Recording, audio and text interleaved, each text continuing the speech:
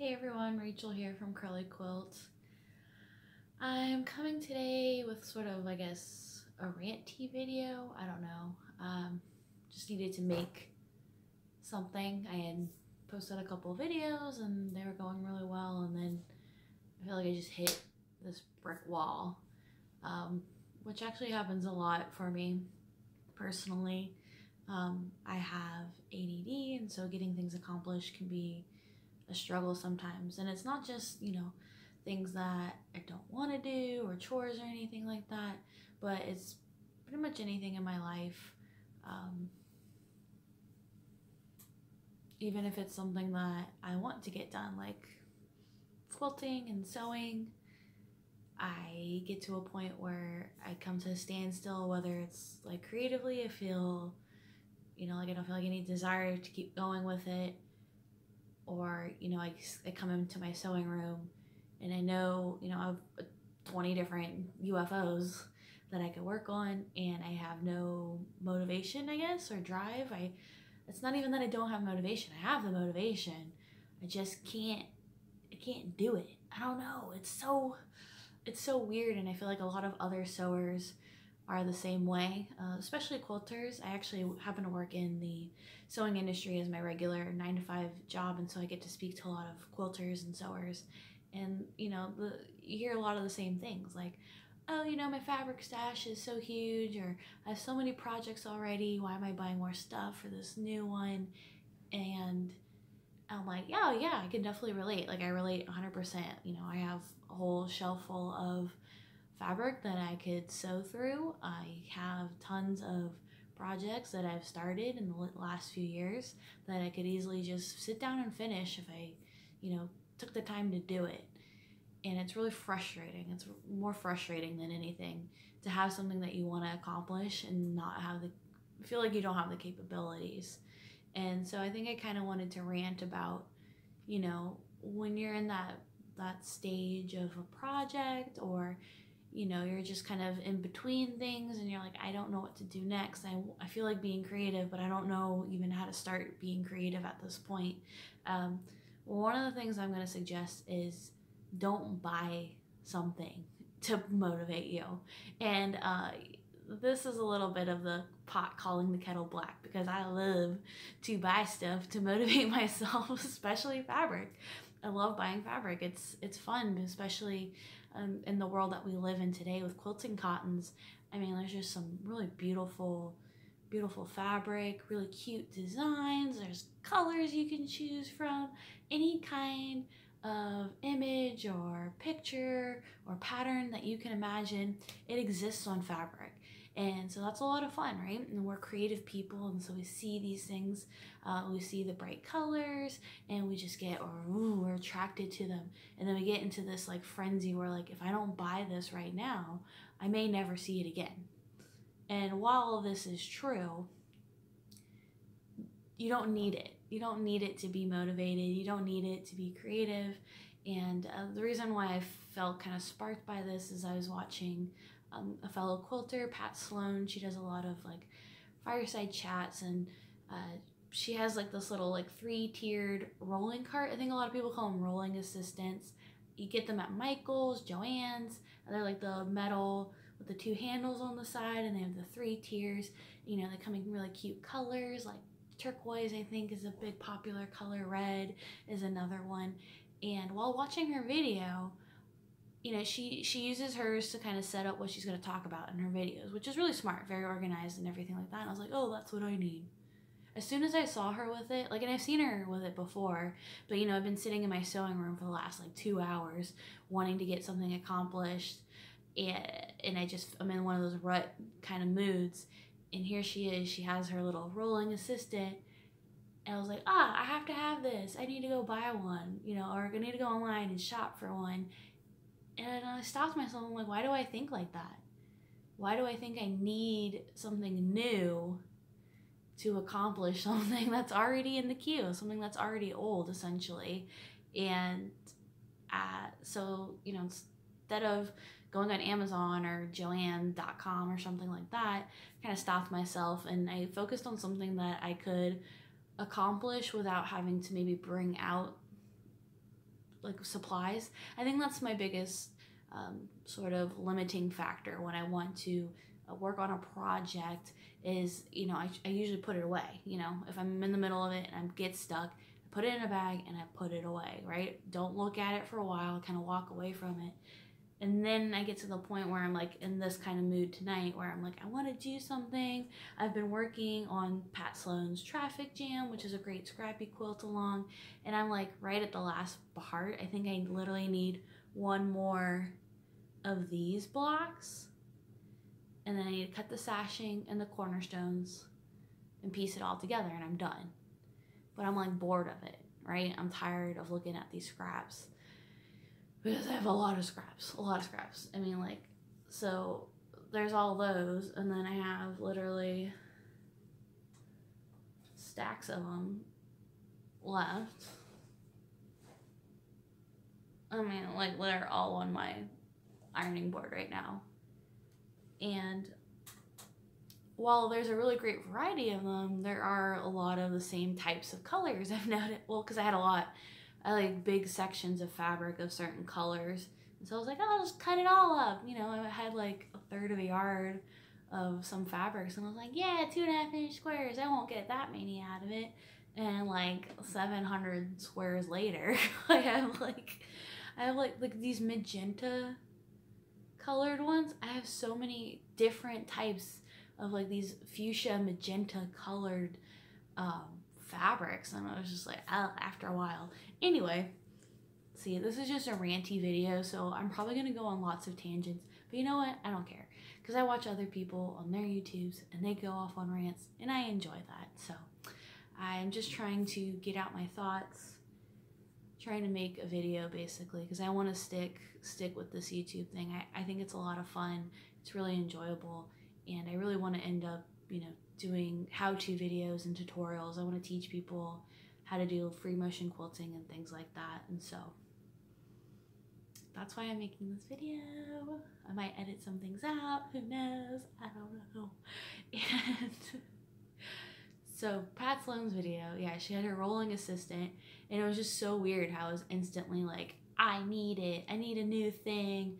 I need something to organize my life because that's why I'm not organized, right? I'm not organized enough because I don't have this shelf. I don't have the pegboard for my key. I don't have the rolling assistant. I don't have the the plastic, you know, those plastic square project boxes that everybody's obsessed with. That's like no, that's not why I'm not being productive. Not because I don't have the thing. It's because I've hit a wall. I've hit a brick wall, and with um, you know adults with ADD or ADHD, I don't know what level I'm at particularly with that. Um, that's it's just that's what happens. You want to do a thing. You know how to do the thing. You could do the thing very well, but you'll get to this moment where you're just like nope, not right now. And I have to put it away. I, off, I that's like my biggest thing is just pack it up, put it in a bag, and put it away. You know, some people talk about maybe, you know, why don't you do your 10 minutes of sewing every day? And I do. I do do 10 minutes of sewing almost every single day. I would say probably four days out of the week. I, you know, I do work full time, and so sewing is technically my hobby. Um, so four days a week I feel like is a good a good amount. You know, every morning before I go to work, that's what I'll do is I'll sit and sew for a little bit. But the thing is, I have to have something out and ready to work on. Otherwise, nothing will get done. If it's not just out and ready for me to like, you know, wake up, grab my coffee, come in here in my sewing room and sit down and just just sew, just sit and sew, not have to think about anything. I'll often not do I won't do any sewing because it's not easy. You know, it has to be able to, it has to be mindless almost, basically. Um, at night when I get home from work, it, it is really, really, really hard to be motivated, to be organized, and ready to go on a sewing project. Mostly because I'm a manager at my work, so I, I'm having to be like that all day, you know, for eight hours a day. I'm in what do I need to do next, or you know, trying to be organized, trying to get tasks accomplished. And so when I get home, I'm not, I'm a little bit physically tired, but mostly I'm mentally tired. And for me, even though sewing is relaxing and it is therapeutic and it is my hobby, it takes a lot of my brain power because I'm being creative and I, you know, I don't like to follow patterns. So, you know, right now I'm working on a quilt for somebody where I'm creating the pattern from scratch and I've hit a brick wall. Oh, surprise. I hit a brick wall when it when it's coming to planning out the actual pattern and everything like that. So, you know, I'm just trying to find that motivation and, you know, just reaching out to anybody out there who's, you know, either you have ADD or you're just a, you know, hardcore procrastinator or just, I mean, I don't know, whatever. You're at that point where like, I'm done with this project or I really need some motivation. I'm going to tell you right now, you do not need to buy anything. You really don't. And, you know, sometimes Instagram and Pinterest, Facebook groups, those can be really great areas for motivation as well. But again, I don't know, maybe it's me, but I just get bogged down in just the sheer amount of stuff you can see online. The pictures, the patterns, the free patterns. There's there there are so many free patterns uh, just do one free pattern at a time. when I first got started into quilting, you know, I was really excited because there's all this information online. You know, I first started with Missouri Star Quilt Company. I was like, wow, look at all these videos. Not only can I learn how to quilt, but I have so many free patterns that I could do. And I got to the point where I was, you know, researching free quilt patterns and downloading them and saving them and printing them out.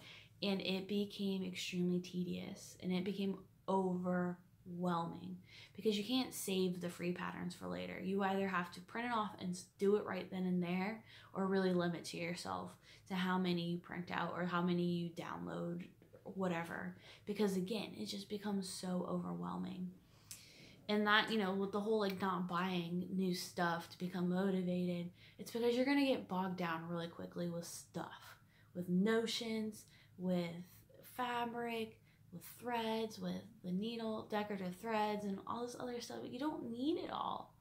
And I get it. Everybody's releasing this stuff. Like Lori Holt, she, I mean, she has some, she has some really cute stuff. She has really cute books. I love her little thread, her chunky threads, her buttons, and all her little rick-a-rack and stuff like that that goes along with her her fabric lines and things like that. Really cute stuff. Um, but if I bought everything that I liked from her, I would be broke. Uh, I would be broke.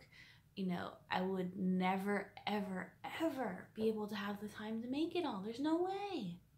There is no way. And then so you have to kind of stop yourself and realize, like, you know, her full time, 40 hour a week job is doing what she does, right? It's sewing, it's quilting, and, you know, creating fabric and things like that. And right now, where I'm at in life, I cannot do quilting and sewing and YouTube full time. I just can't. I can't afford to do it. Um, I'm lucky because I still get to work in the sewing industry um, in a way. And so I am, you know, surrounded by it every day. But it's still customer service. You know what I mean? I'm still interacting with people all day, every day, and they come first. So I don't get to just sit and sew all day. I don't get to just sit and research or design or anything like that. I do have to greet customers and thing you know and help them out basically.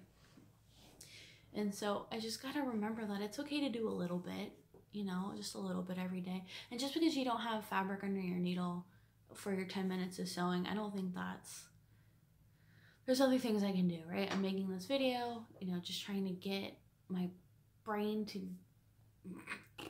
i don't know dump i guess. A brain dump is what you would call it.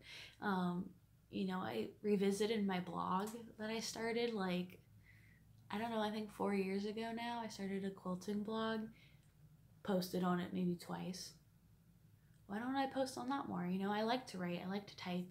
Um, should be writing more about my my process. I want to get my thoughts down, and so I think that personally is what I need right now is to just let go of my thoughts, write things down, uh, use my planner more.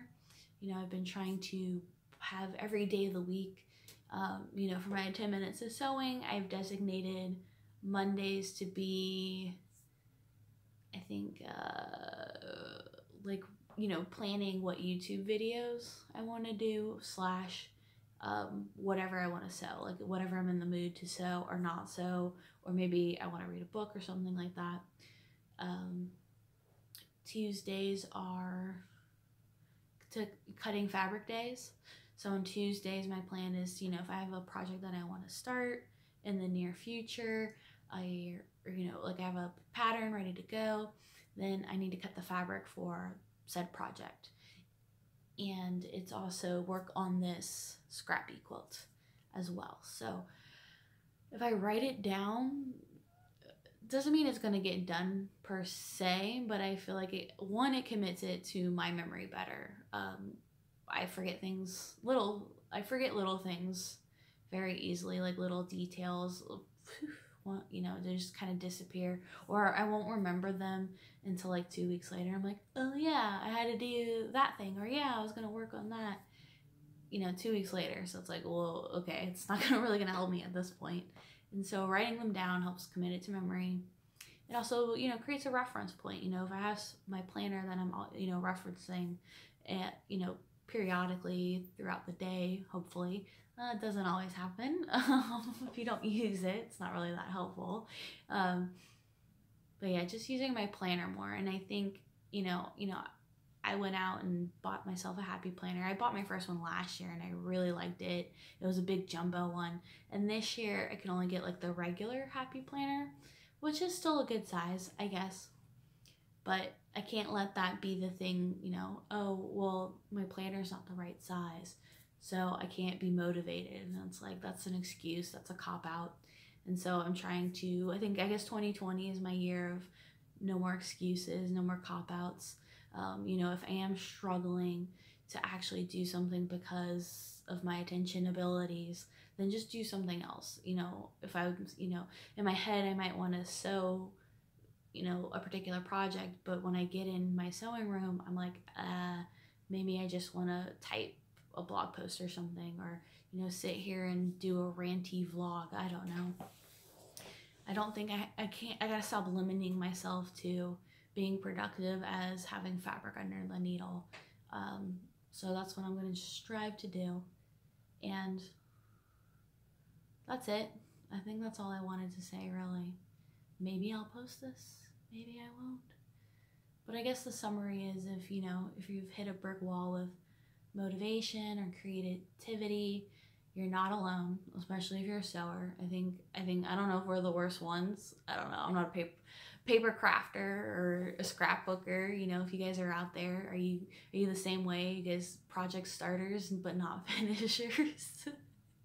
How many scrapbook pages have you started and never you know finished off? I don't know i feel like quilters i don't know i feel like we're the biggest ones.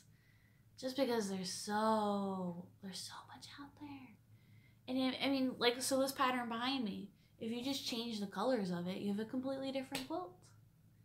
And you could, you know, change just the center colors or you could change the strips on the outside or the sashing or the cornerstone.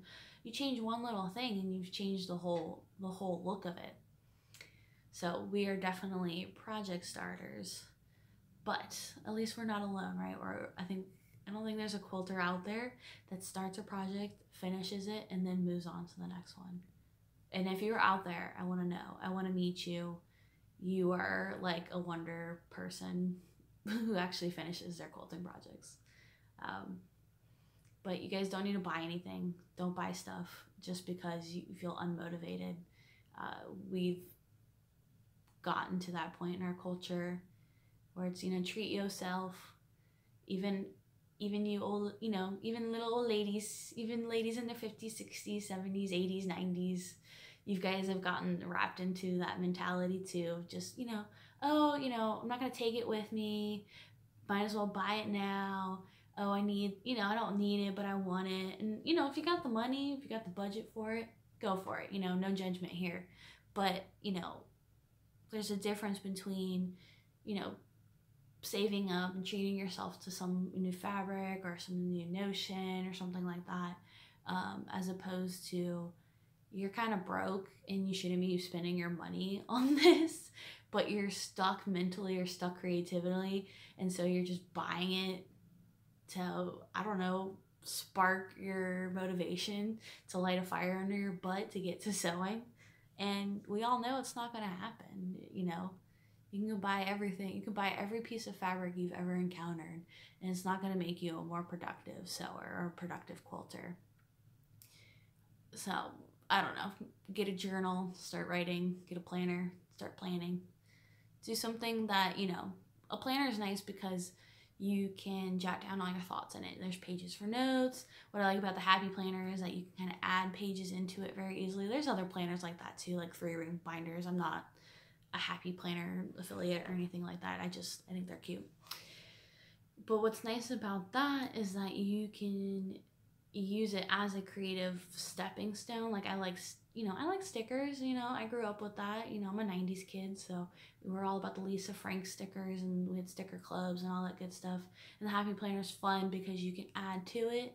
You know, you can really kind of decorate it the way you like it. And so when you're feeling stuck creatively, you know, creatively, creatively, creatively, uh, just sitting down and throwing some stickers on there, getting some cute markers and drawing and decorating. You don't have to spend a ton of money for that kind of stuff. A lot of people have that in their crafting room already anyway. And so that's a good way to kind of plan things out.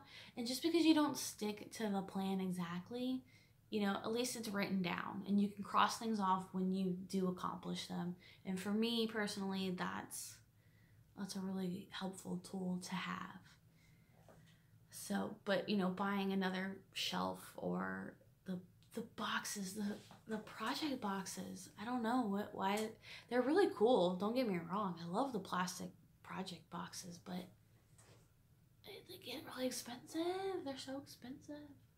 I did find them for five dollars at Walmart yesterday though, so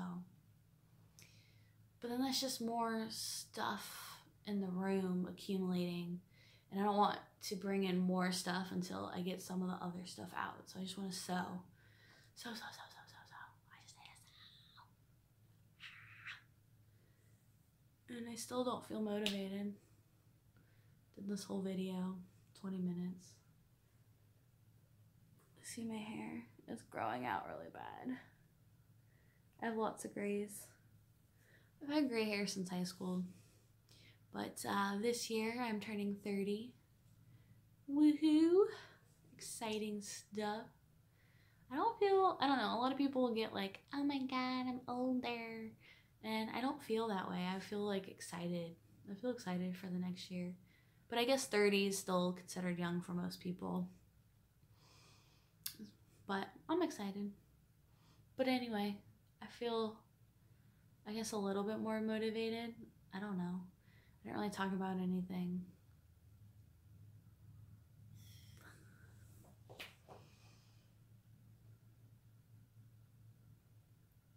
That's it. Don't buy stuff. Stop buying stuff.